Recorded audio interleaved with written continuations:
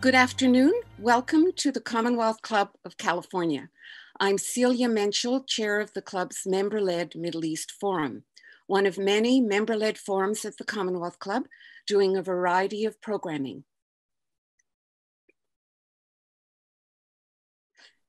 You can find out more about member led forums and other upcoming events at commonwealthclub.org, but I would like to mention one it's the club's virtual fundraising gala on October the 16th with wonderful speakers and prizes, and you can go to commonwealthclub.org to find out more about that event. Before I turn the program over to our distinguished moderator, Eddy Simonian, I'd like to show a two minute video from Israel 21C featuring some views of Israelis on the street in Tel Aviv talking about the UAE Bahrain Israel deals. Thank you.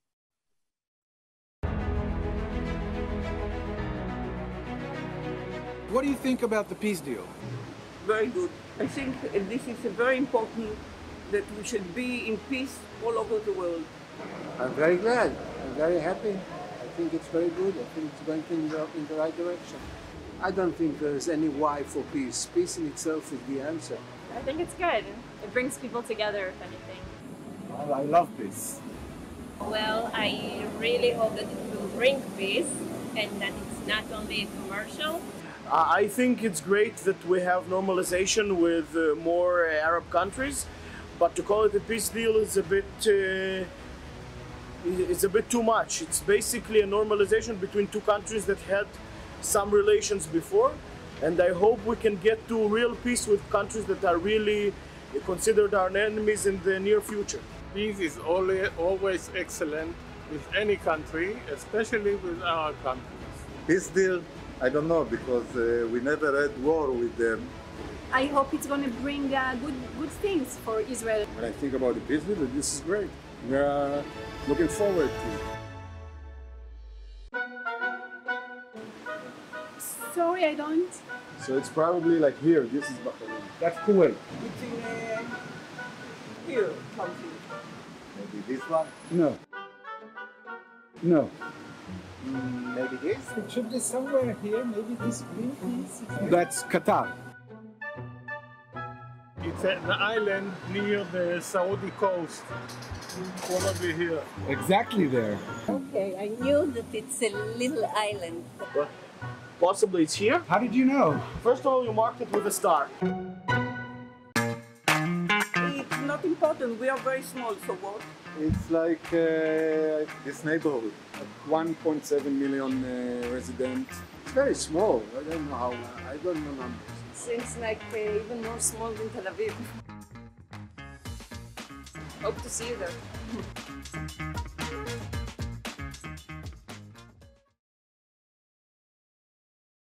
California. I'm Eddy Simonian, the Vice Chair of the Middle East Forum. I'll be your moderator for today's program, The UAE and Bahrain Deals with Israel.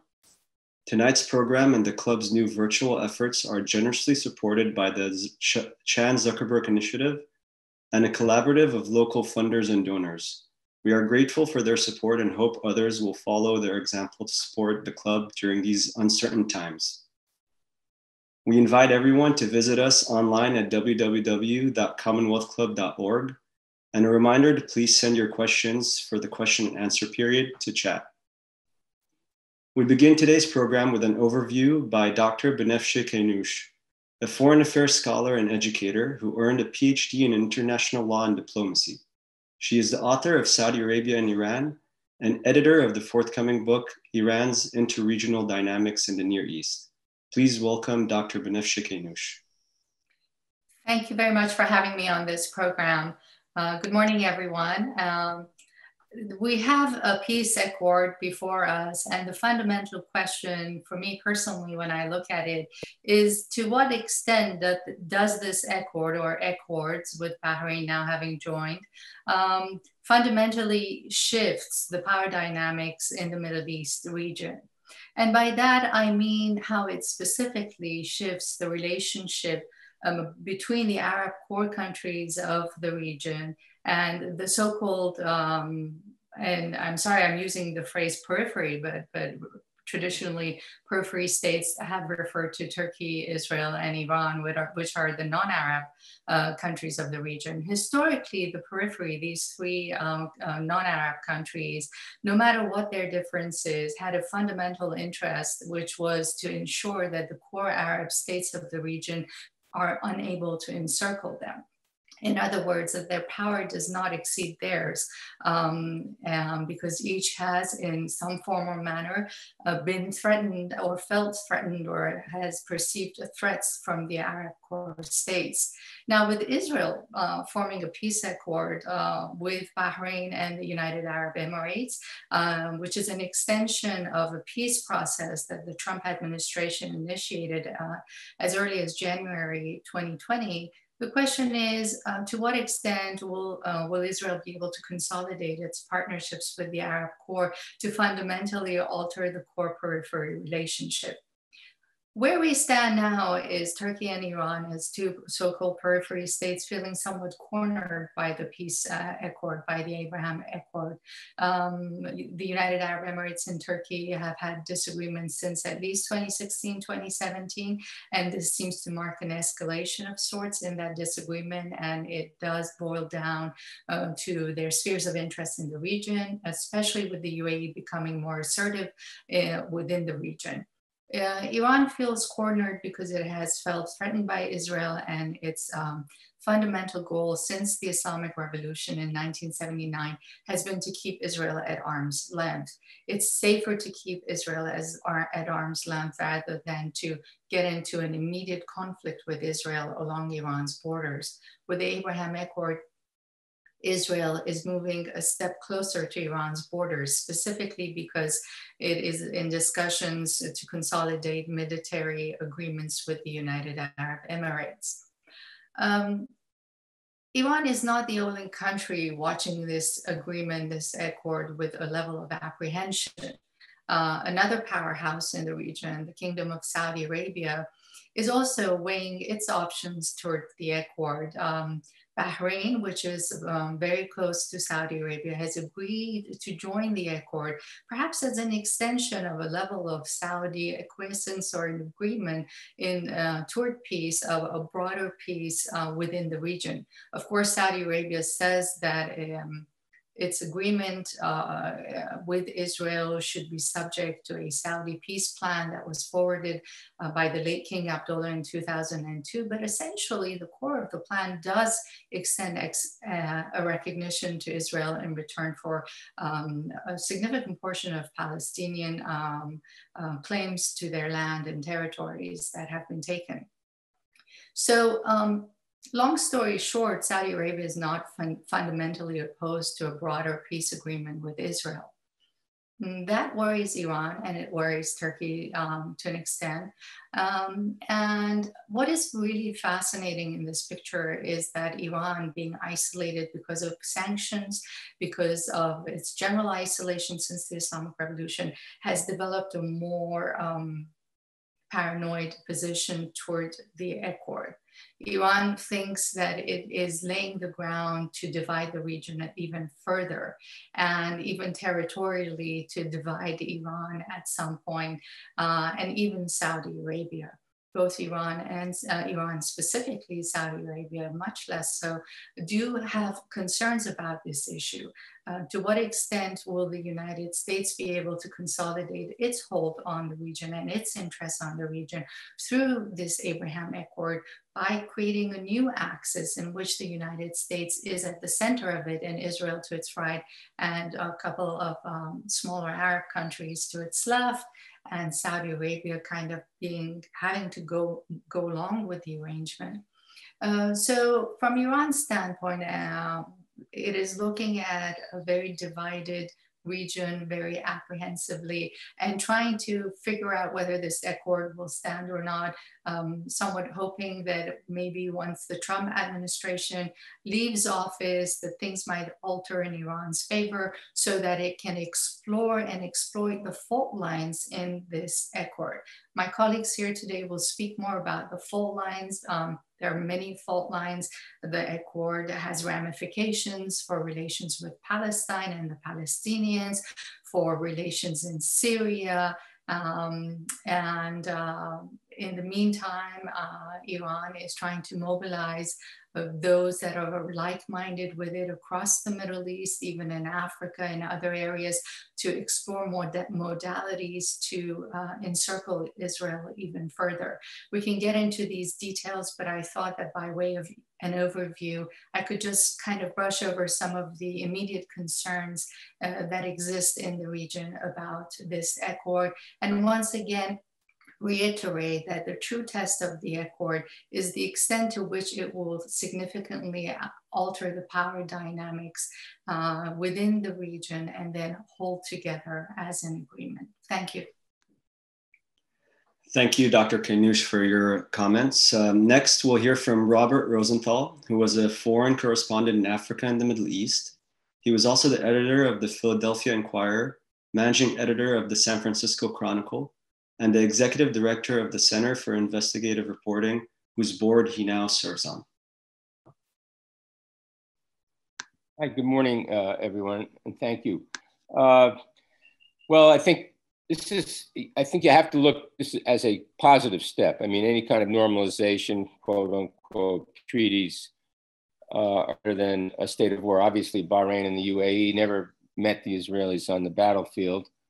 Uh, but the fact that they're willing to open up and do these things, uh, I think, is a positive step. Now, where, what it leads to is unclear. Obviously, uh, from a Palestinian point of view, uh, this is not a good deal.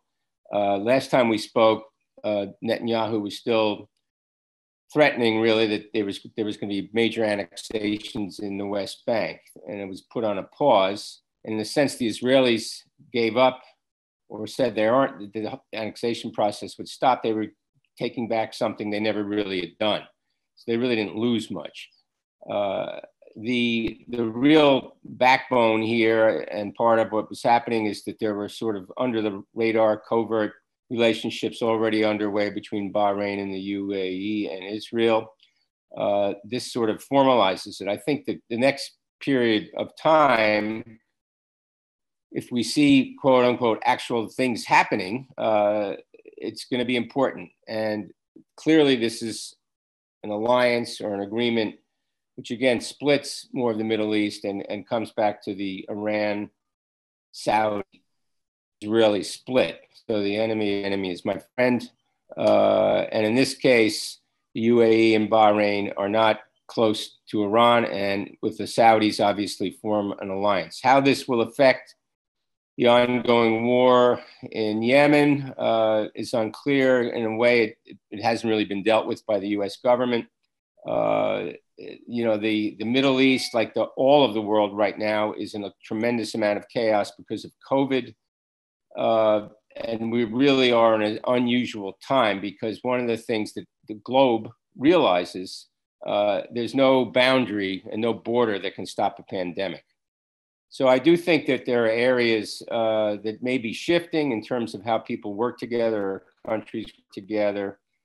Uh, the leverage here will really be in terms of the Saudis, I think, and if the Israelis are willing to do anything in terms of improving the relationships with the Palestinians, especially in the West Bank, that we can see more things happen. And obviously, again, the backbone of a lot of this is money. Uh, if the Saudis are tacitly approving this, what are they going to do or not going to do in terms of the rest of the Arab world that supports them? Especially, can they make major investments in the West Bank at, over time and even hopefully in Gaza? Uh, you know, the reaction to this was pretty predictable. Uh, it's you know one of the things I haven't seen much about, and I'm curious about. Maybe we can talk about is what the Israeli Arab population thinks of this. And there's some potential things we may see in the months ahead. Uh, and I think it would be, and I know it could create more problems uh, if we can imagine a plane load of citizens from Bahrain or the UAE coming to Israel and wanting to go to Al Aqsa, uh, for example, uh, and being welcome there what will the Waqf do, the organization that, that manages it? Will they allow other Arabs who want to be pilgrims to come there? I mean, this has never really happened when it's very covert. So these are flashpoints. They've already said the Waqf they don't they don't honor, they don't honor this accord and they don't want uh, citizens of the UAE or Bahrain to come. So I mean, there's all these sidelights that we'll watch play out, uh, but it's again in a fractured Middle East racked by COVID. Uh, what's happened in Lebanon, uh, in a country that's struggling dismally, not only COVID, but the aftermath of the huge explosion in Beirut. Uh, you know, Hezbollah has not been helped by that. Hezbollah has been weakened, obviously, by the war in Lebanon, uh, Syria. And obviously, again, the Iranians are not in a powerful position right now with the sanctions, and they're seeing these other alliances happen. So, again, this is another unsettling moment. I think it's really too soon to make a strong judgment one way or the other. But I personally think that normalization over time, these are tiny steps, but if they can create more commonality between people who really don't know each other. The, little vignette from the uh, video with the map was fun. I'm sure if we did that in the United States, nobody would know where these countries were, very few people. But I do think anything that opens potential dialogue and awareness and connections is a positive step. But There's, this is fraught with huge political issues and issues, obviously, that are historic and deeply rooted in the region uh, around animosity and lack of trust that haven't been ameliorated by this, but it is, I think, a small step forward. It also raises questions. You know, President Trump has said that he would have no objection to selling uh, F 35 fighter jets. He sees it as a business deal. Obviously, how those jets would be used by Bahrain or the UAE is a complication. And, and uh, again, uh, if you think in the sense of containing Iran, a lot of this from a military point of view, I think, is aimed at that. Thank you to Robert Rosenthal. Uh, I just want to remind everybody that you could ask questions uh, through the chat. Our third panelist, uh, Alon Sachar, worked on the Arab-Israeli peace during the Bush and Obama administrations. He is the co-author with Senator George Mitchell of the book, A Path to Peace. Uh, thanks, Eddy. Uh, glad to be here today. And I, I agree with um, Robert's take that the normalization of relations between the UAE and Bahrain is a positive thing. It's a very good development. Uh, both the UAE and Bahrain are regional business hubs and among the more successful economically Arab states in the region. Um, and it's important to look at how these agreements differ from some of the other peace agreements that Israel has with its neighbors. It remedies certain of the deficiencies between uh, uh, in the Israel-Egypt peace agreement, and the Israel-Jordan peace agreement. Obviously, those are still absolutely critical formative agreements in the region, but those were confined generally to security issues, some minor economic issues, and small-scale economic deals. Um, but there's a lot of volatility in the Israel-Egypt agreement and in the Israel-Jordan agreement. They're very much dependent on the uh, leadership in those countries uh, remaining and being bought in um, these deals are different, particularly because they focus on non-security things in addition to security, but there is a great deal in these agreements about tourism and social people-to-people things and economic connections. Uh, since announcing the, the agreements, um, both uh, the UAE and Israel have announced cooperation on COVID research and clean energy technology and other technologies in general um, and a senior Emirati officials have called this a people-to-people movement. Um, one senior Emirati official even called, even said that uh, uh, the Palestinian issue will not hinder uh, Emirati-Israeli peace. And he said, I quote, not even a war with Gaza. So this, I think, has in breaks down some important psychological barriers, uh, both uh, on, on all sides. Obviously, the way Israelis see their place in the region. Anybody follows Twitter? And you follow high level uh, Emirati officials on Twitter? Or the Israeli MFA, you'll see almost daily pictures of you know the Emirati and the Israeli flag uh, in Dubai in front of the Burj Al Arab or wherever it is. Uh, today, the um, uh, Emirati Foreign Minister Abdullah bin Zayed was in Berlin with the uh, Israeli foreign minister and the German foreign minister, and together they went to the Holocaust Memorial in Berlin. So there is sort of this overt, very intentional people to people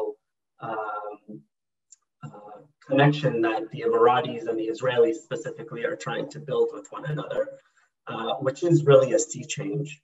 Um, now we can talk maybe in the Q&A section a bit about the timing of all of this, which, uh, you know, uh, there are certain implications, but and in terms of the Palestinian issue, um, you know, the Palestinians obviously did not welcome this, uh, these accords. They are understandably quite upset for being uh, left out and for, for their issues not being addressed.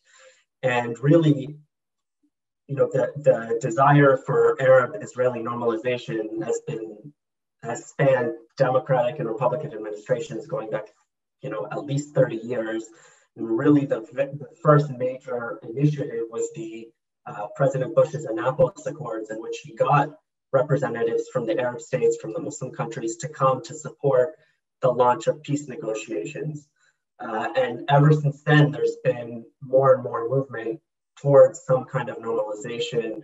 Obviously, as Banafsheh was saying, the issue of Iran and Turkey and, uh, and kind of all the complexities of the Middle East, um, which you know the UAE and Israel and Bahrain and the Saudis for sure share many many common interests. And what's been become apparent over the years, and to you know to the uh, chagrin of the Palestinians is that their issue is no longer as front and central as it was in the 80s and the 90s and even in the early 2000s. Um, and, and what this agreement does actually is flip the Arab Peace Initiative on its head. If you remember, the Arab Peace Initiative back in 2002 set, was uh, an initiative um, in which the Arab states uh, and, and Muslim states said that they would you know, uh, have normalization for, with Israel in return, um, in return for peace with the Palestinians. And now what this is saying is that no, actually, we don't need peace with the Palestinians first, uh, and we'll have normalization with Israel anyhow. And so obviously the Palestinians uh, are feeling um, sidelined here. But, uh, you know, this could actually be good for the two-state solution if it's used for that way. Um, the Palestinians aren't going away. The need for the two, two state solution remains. Um, and as my former boss uh, said, uh, Dan Shapiro is the US ambassador to Israel, that, um, you know, history and common sense both show that Arabs that maintain some relations with the Israelis can play a more active role in support of the Palestinians than those who do not. And that's been true recently with Egypt helping to maintain a truce between Israel and Gaza. Jordan has in the past has applied a tremendous amount of pressure on the Israelis when it comes to issues on Jerusalem, also with annexation. Um, and there is, uh, you know, there is another reality here is that the Emiratis and the Bahrainis have a lot of money and they have the ability to really invest in and help support Palestinians and Palestinian society. And you know, they, there are so many things that they can do. Robert mentioned uh, uh, Gaza, but you know, they could help build up parts of East Jerusalem, help the school networks there, and mail and um, uh, all throughout the West Bank. There, there's just a tremendous need for support in hospitals and schools.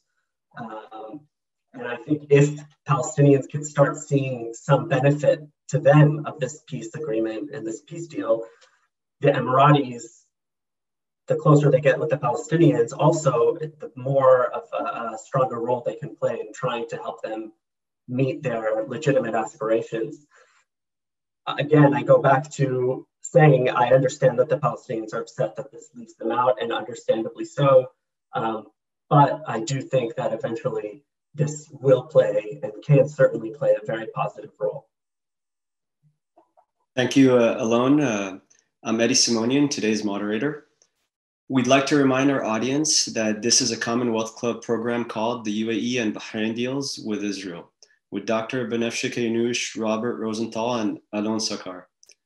Now it's time for the question and answer period. Uh, we have a large number of questions, so uh, let's begin. Uh, I'll start off with a question, and it's uh, for all the panelists. And um, my question is Do these deals signal, signal the end of what is left of Arab nationalism and the Palestinian cause? And uh, maybe we could start with Dr. Uh, Banafsheh. The um, Pan Arabism or Arab nationalism and the Palestinian cause have always been a uh, subjected to political um, interests and phenomenon, not only by external actors, but by the Arabs themselves. They have politicized the subject way beyond the point of now trying to claim to salvage either the Palestinian cause or uh, Pan Arabism. Um, uh, they would, you would have to be a hypocrite uh, to, to want to to want to uh, claim to salvage it when you yourself have, have politicized the subject uh, from from the time of the Israeli statehood uh, uh, after World War II. And so I think that the Palestinians understand that the Arab, the individual uh, Arab countries who are contemplating normalization with Israel understand that. And my um, best guess is that everyone is going to go after their immediate interests, uh, which isn't ideal. But if, if normalization does consolidate, uh, as Alon was saying, economic uh, relationships in the region, that then they might uh, extend those interests to more medium, medium term and longer term interest to be able to incorporate normalization in a manner that also helps promote better Arab understanding and better Arab unity over the Palestinian cause. The very fact that countries like the UAE are on the alert about their response to the Palestinian cause post normalization with Israel means that there are fundamental divisions among the Arab countries over how to address the issue and um, the extent to which they are each willing to politicize the issue. And of course, this politicization also enables countries like Turkey and Iran, which are non-Arab countries, uh, to have a say in the process, which further complicates uh, the issue. I don't know if I've answered the question, but this is just my take and understanding of it. Uh, Robert or Alon? Um, uh, I would say, oh, go ahead, Robert. Okay. Uh, you know, I think a lot of this, and it's been mentioned, honestly, uh, the Palestinian issue will not go away. But if the Palestinians over time, especially in Gaza, see their lives improve because of economics or billions of dollars that are put in place from the UAE, from Bahrain, from potentially Saudi Arabia, and there's a normalization of life, and the, it will create a, I think, a better environment and a more trusting environment for the Israelis to, to back off, and maybe there will be a solution. Uh, Gaza obviously is, is, is a horrific uh, conditions there that people live in are horrific uh, with tremendous neglect. The West Bank is not as bad, but it really, uh, and we see this in history, uh, if you go back to the end of World War II, uh, with the Marshall Plan, with the US's Marshall Plan in Europe, and what it did in, in Europe, really rebuilding it, created a lot of stability uh, that has existed to today. Obviously, there are issues today that are, you know, 75 years later that we're dealing with, but uh, a, a, quiet peace, uh, a normalization, uh, and I think in, in these accords, the what I'll call the human connections uh, of actually people getting to know each other could have a benefit. Uh, and obviously, this is very difficult, but over time, I don't think, uh, when I say over time, that uh, if there's an administration change in the US, the Biden administration is not going to uh, be unhappy about these accords. They will put more pressure, I believe, on the Israelis. Uh, than the Trump administration has to normalize relations with the Palestinians and make some steps forward. Uh, but I do think because of the financial reality and the wealth of these countries in the Gulf, and if the Saudis quietly or openly decide to get more involved, there will be leverage. Uh, people's lives can improve. And if that can happen, even with the pressures from Iran, uh, and that's why it's so risky for the Iranians, uh, things may change. I mean, the dynamics there, and again, COVID has affected everyone, everything. Uh, the situation in Lebanon is obviously very different than it was 18 months ago or a year ago with Hezbollah. Uh, so I do think there's an opportunity here, and I do, in general, think these are positive steps. But the proof is going to be in what the investments are, and where where we begin to see the rhetoric change. I think things have to change on the ground in a positive way in the West Bank and Gaza. Slowly, slowly build this into a more lasting and positive situation.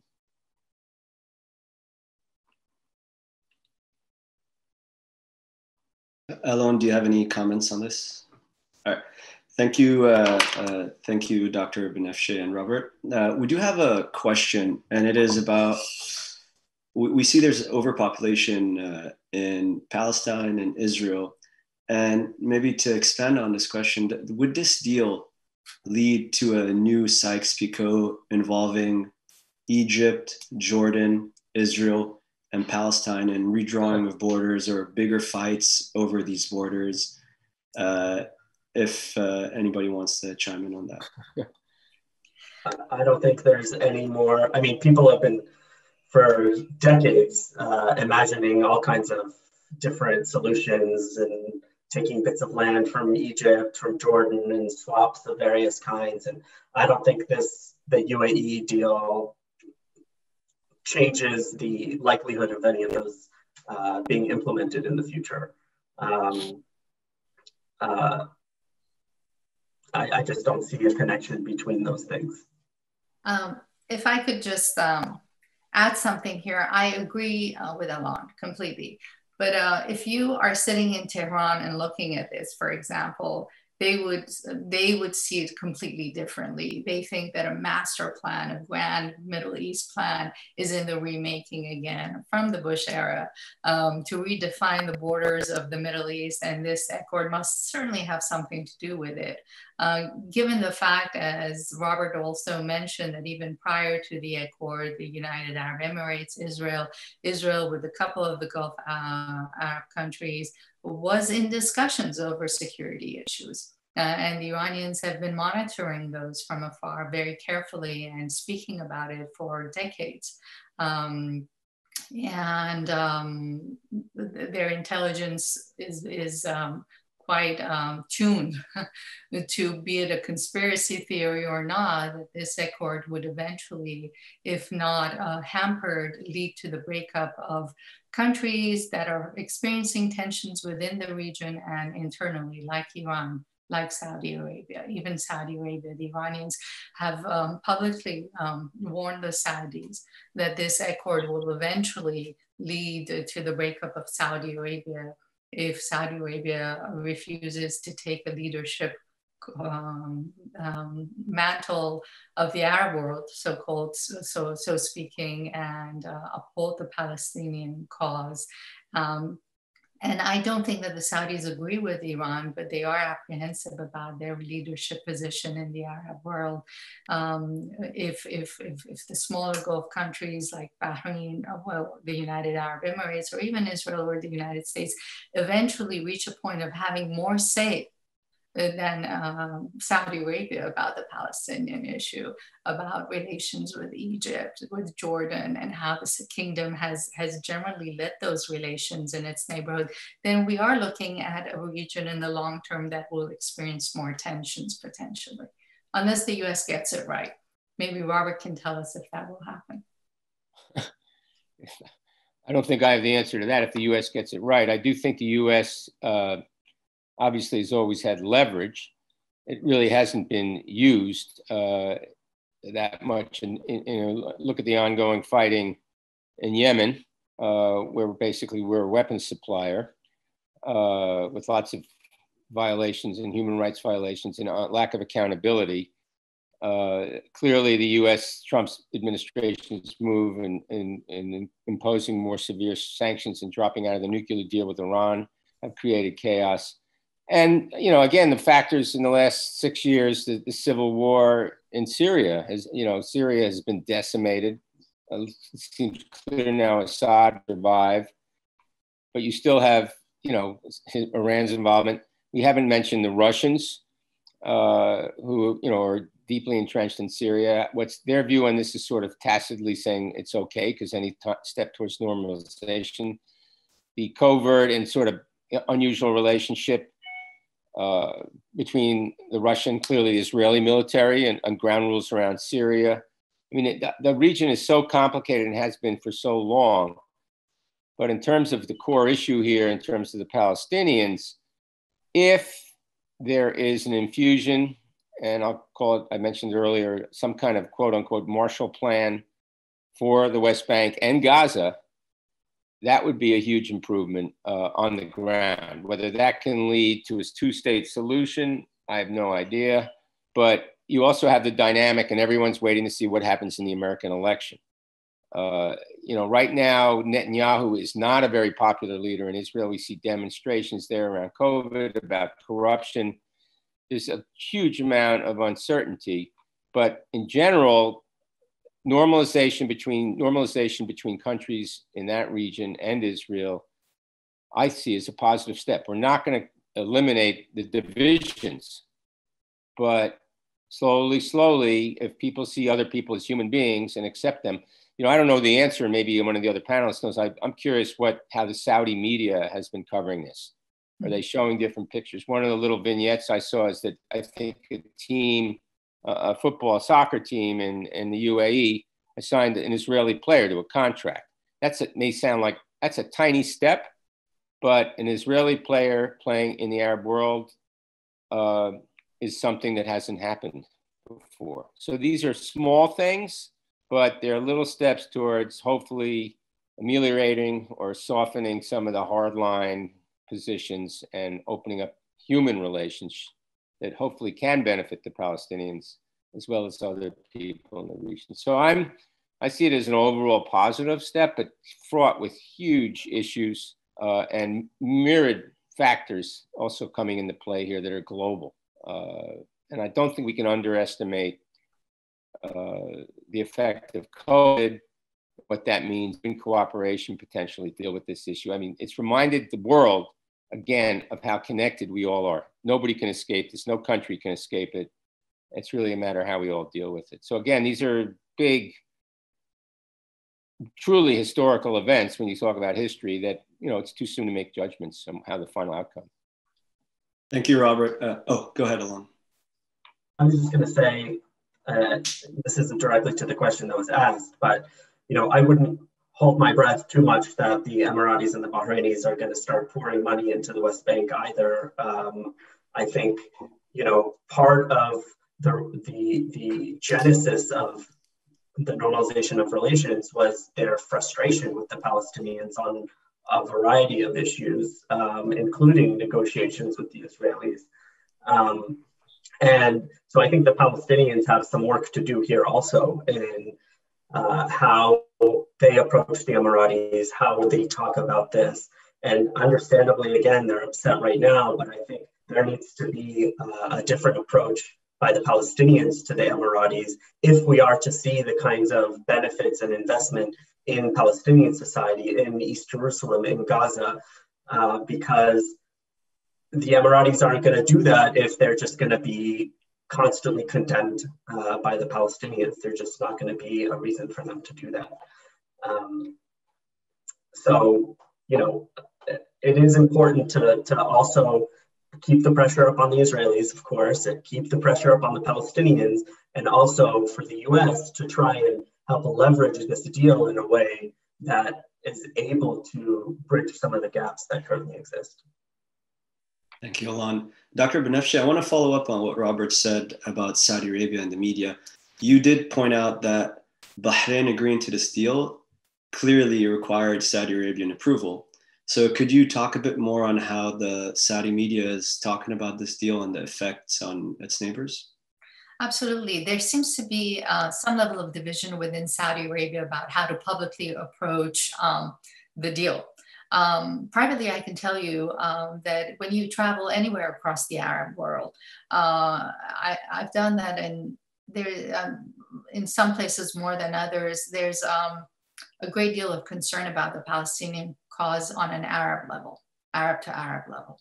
Um, so I, I didn't mean in my earlier comments to dismiss that Pan-Arabism is dead. It's still, at least in the private sphere of people to people conversations very much alive. And uh, some of that even translates to anti Americanism in, in the face of the Accord. But the, Palis- uh, the Saudi media has been trying to walk a very careful line while Saudi Arabia has not officially endorsed the Accord. The media has done little gestures here and there to show that they are in agreement with the fundamentals of um, religious tolerance towards Jews, a, a broader peace in the Middle Um, the idea of normalization is fine, that somehow the Palestinian cause has to be addressed, but that eventually um, the media, it looks of it, from the looks of it, is moving in the direction of, of preparing the Saudi public opinion uh, toward the ultimate reality that Saudi Arabia sooner or later will have to weigh in and officially uh, do something about this accord.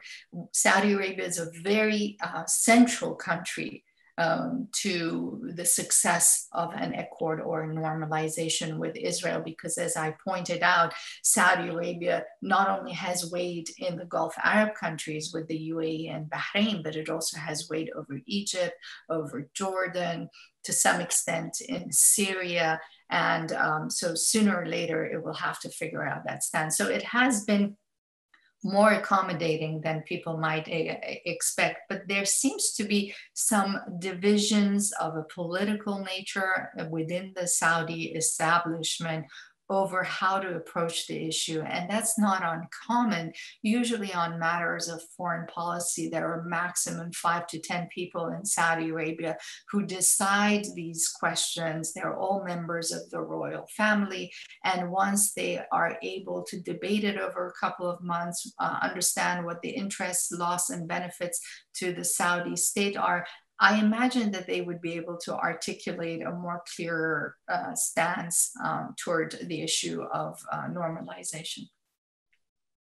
Thank you, thank you, Dr. Banafsheh. Uh, Alon, do you have uh, any comments on this? I, I, just wanted to echo some of what Banafsheh was saying. Um, you know, Bahrain is actually connected to Saudi Arabia by a causeway, and you know, I think there, I don't think there's any way that Bahrain would have proceeded without uh, approval uh, by the Saudi king, and I think it's almost like a trial balloon to see to see what happens, how this plays out. Um, you know, a lot of the conventional wisdom that everybody's had, that we've all had with respect to the conflict uh, between the Israelis and the Palestinians, um, uh, has sort of been thrown out in some ways, and so I think uh, I think the Saudi media is understandably going to be, you know, kind of on the fence with this, but ultimately, this is almost like a stealth normalization between Saudi Arabia and Israel. And I think in the years ahead, it's very tough to predict depending on how things play out. But I think this is definitely a step in that direction. If I may just point something out, which touches on what both Alan and Robert have been saying, the economy of this is really critical uh, in the longer haul. Uh, Saudi Arabia has economic weight and it is already exploring the merging of that economic weight with the United Arab Emirates, not just because Saudi Arabia needs the UAE, uh, or Bahrain need the UAE, but also because the UAE economy is not as strong as it used to be, and also needs the Saudi economy and the Bahraini uh, Bahrain's economy is weak. It needs foreign investments, but as Alon said, it is able to attract those investments very successfully. Um, so. Um, even uh, if we take the normalization out of the picture, these countries are merging their economies to an extent to contain Iran also to, uh, and their dependency on Iran, because as we know, the UAE economy has been very dependent on Iran. If you look at the accord between Israel and the UAE right now, they're talking about a trade volume of about 500, 500 million dollars in the immediate term, um, which isn't very much. Um, the UAE Iranian um, trade, uh, re-export capacity was around $20 billion annually before the latest round of sanctions uh, kicked in against Iran. So uh, the United States has to, as Robert said, do a lot in order to boost the regional economic integration of the Arabs with the Israeli economy. And if that happens, well, we have uh, a more optimistic um, future ahead, I guess. Thank you, Dr. Uh, Banafsheh. Uh, I would like to add to that that part of the economic influence of Saudi Arabia and the UAE is also foreign workers who sent remittance to other Arab countries, and that's another huge uh, uh, power play that they have. But I do have a question. Uh, Robert, you touched on this, and it's Yemen. And I know a lot of our viewers are probably thinking uh, about this as well. Uh, we see when Israel enters this, we're assuming that Israel will be selling weapons to the UAE, to Bahrain as part of this uh, moving forward, just like we're seeing how they're selling weapons to Azerbaijan and it's changing the dynamics between Azerbaijan and Armenia. Uh, what are your takeaways on that, and what, how do you think it's going to affect that region uh, militarily moving forward? Well, the U.S. Uh, is a supplier of weapons to the world. Uh, it's business, uh, to be blunt, and it's immoral frequently. Uh, and I, think that you know the weapons trade in the Middle East is, is going to be one of the crucial elements here, and and under the Trump administration, there's there's almost no curtailing of how this was done. You know, the, the view of the Saudi Saudi Arabia uh, in the U.S. after, especially after the Khashoggi murder, uh, it's almost been forgotten uh, by this administration, or not really. It was not a matter of concern. So I think in terms of uh, a moral compass, uh, it's not a very strong compass uh, when it comes to weapon sales historically or in this part of the region. Uh, you know, this we, we haven't even touched on it. There's a there's a war in Libya now. The, you mentioned Azerbaijan and the fighting there. Uh, Turkey's role in both places is interesting, uh, and a lot of it, you know, weapons trade is a to billions of billions and billions and billions of dollars. I mean, uh, Trump had an event at the White House, you know, after this was signed with uh, Lockheed Martin's leaders. I think an F 35 fighter bomber was parked there. And, you know, he said, you know, why not sell them something? It's good for business, it's good for us. So if it seemed purely as a business relationship, uh, in business is frequently almost no morals or ethics. So uh, I don't see that changing, uh, but I do think hopefully uh, out of these accords, there will be cooperation on regional issues, whether they're around technology, water, uh, there's a, a, pipeline the Israelis manage, you know, from the Red Sea to the Mediterranean. That may be used uh, in a positive way. So hopefully, some of these people-to-people things will not offset the weapons trade and, and historically, but be also positive. And over time, maybe some of this will lessen. But as long as I think we have this dynamic of them and us, uh, and and the and the alliances that we see now that are based on fear and on one side, you know, the sworn destruction of a state, Israel, uh, until those declarations are either people accept Israel's right to exist, we're not going to see any, I think, decline in any kind of sales, just continued acceleration. Thank you, Robert. Uh, we do want to ask a question. Uh, we do want to move maybe a bit more to domestic policy. I know we haven't touched on that too much, but if all the panelists could talk a bit on how this affects Trump's reelection, whether with the evangelical base or with Jewish voters. Mm-hmm. I, I could just quickly say a few words. Um, with regard to Iran, they're waiting uh, to see the results of the US elections.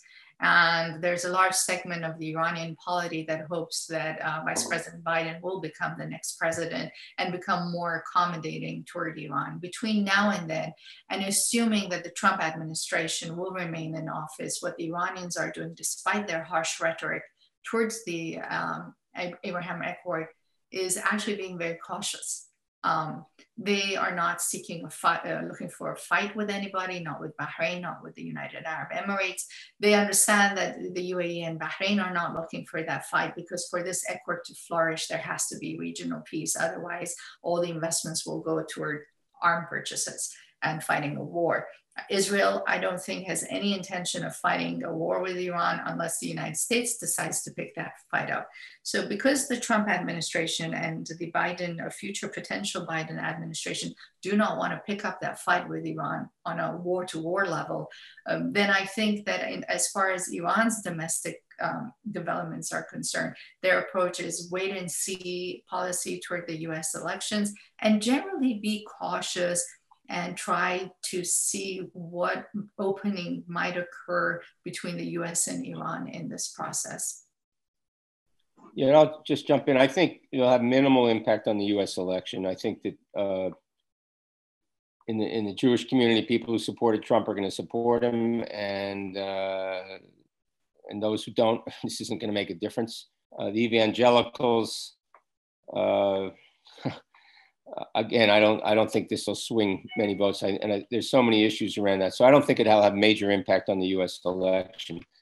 I do think if if there's a change in administration, uh, the Biden administration, I believe, would would try and leverage a lot of these things and force, uh, or at least push the Israelis in ways that the Trump administration is not. And also, we've talked a lot about economics. Actually, understand that economic improvement and improving the lives of people in the West Bank and Gaza, especially uh, because of investment, and will do more in the long run and the short run to establish peace, maybe soften some of the hardline positions than anything else. So, uh, whether the Trump administration would do that, I don't know.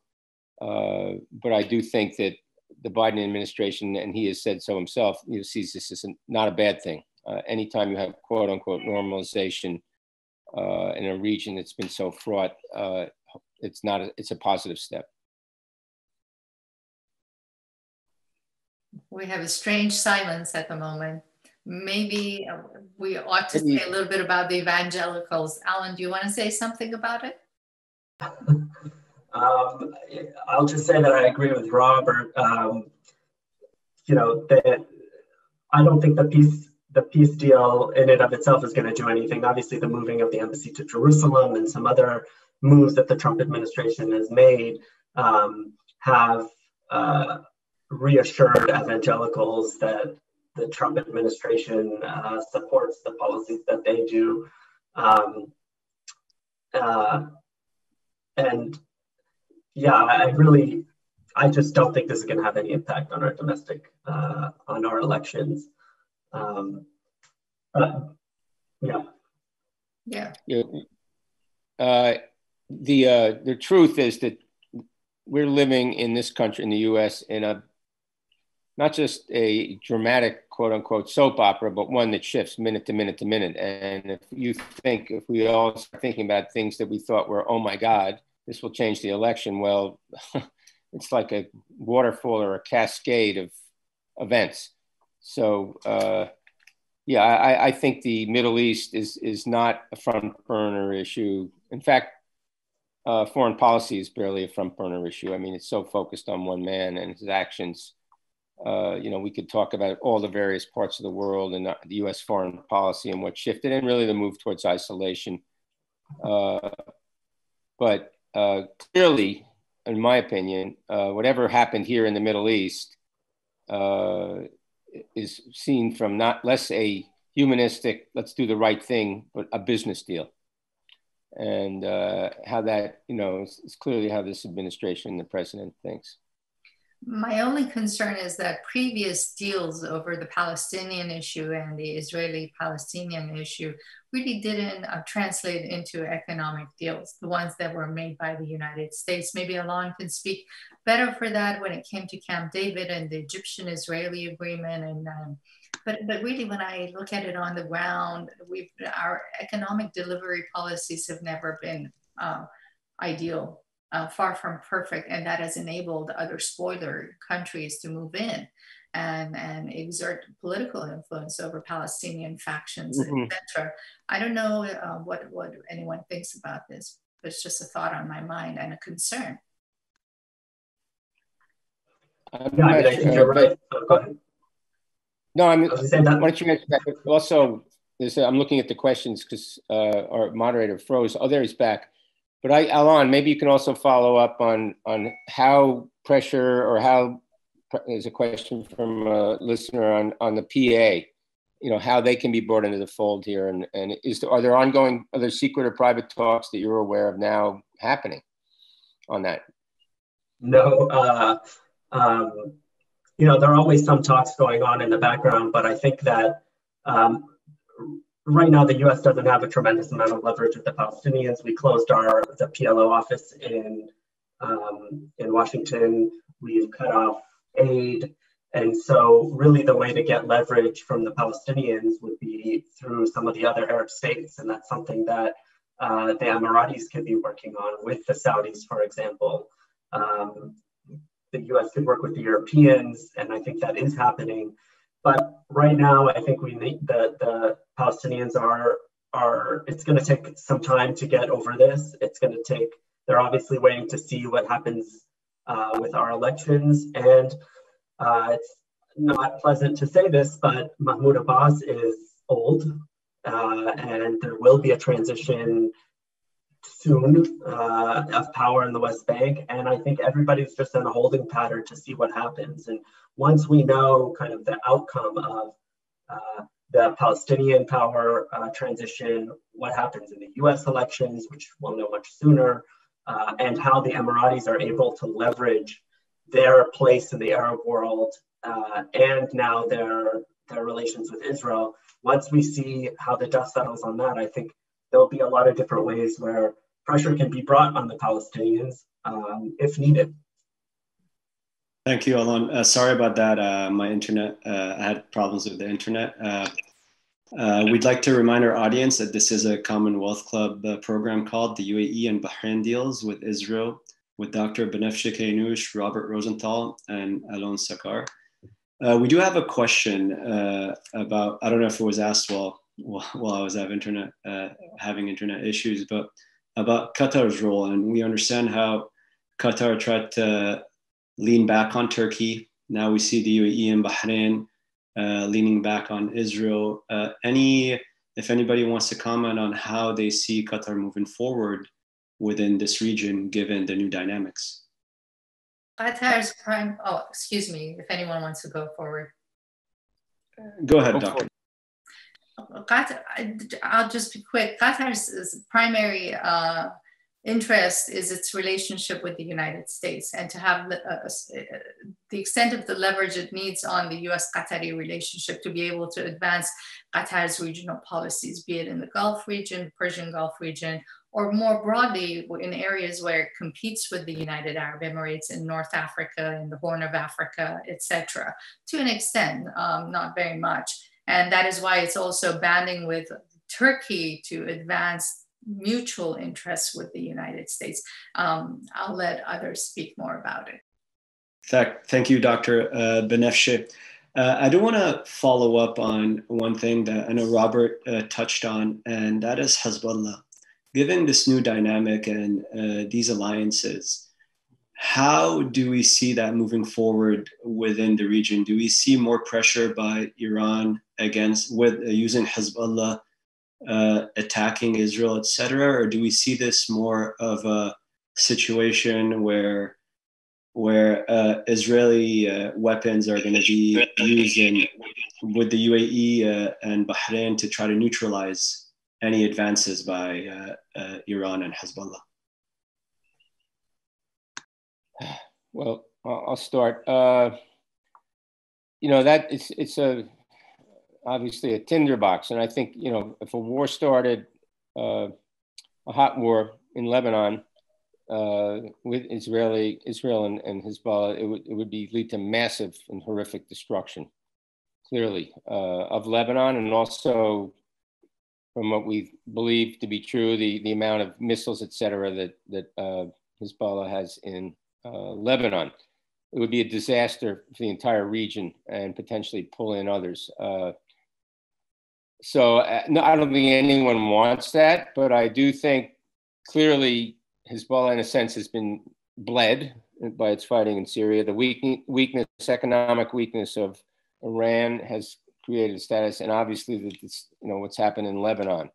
Um, it's it's just one of those things that could explode at any time, and as long as uh, I think Hezbollah and the Israelis see each other as mortal enemies, and then by extension, Iran, it's always going to be, be have the potential for tremendous unrest. Whether the Israelis covertly or directly get weapons to the UAE or the US does it in Bahrain, clearly from the Iranian point of view, it's a provocation. Uh, you know, the, the US bases in UAE are that were created after the first Gulf War.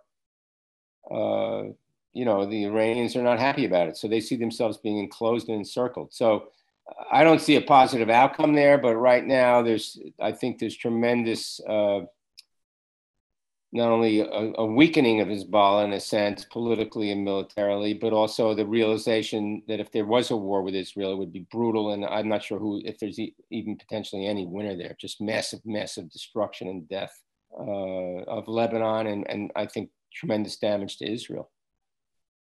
Thank you, Robert. Go ahead. I'll just add that, you know, the Emiratis are deeply invested in Lebanon. And I think, you know, it's hard to predict whether this agreement is going to embolden them to do anything more, either in Lebanon or elsewhere. And really, what we have to wait for is the first crisis and to see how they react and how, what, if there's any difference in how forward they are trying to be in pressuring other governments in the region or trying to preserve their interests in various ways. So it's, it's hard to it's hard to know um, exactly how forthcoming or how uh, aggressive the Emiratis are going to be and how much is this is going to change their foreign policy just in general in the region. Yeah. Thank you, Alon. Uh, okay, uh, I'll give uh, Banafsheh uh, the last uh, reply. We are running out of time, unfortunately, and we'll, we'll close it off with Dr. Banafsheh. Sorry, I didn't mean to take take the floor, but I'll be quick just to the points that you've been making at the Commonwealth Club.